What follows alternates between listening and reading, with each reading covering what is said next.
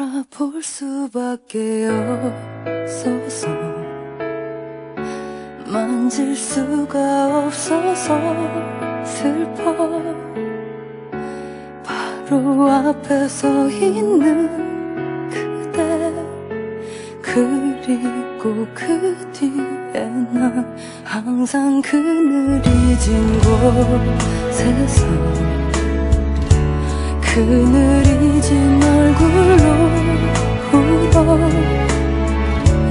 돌아봐 달라고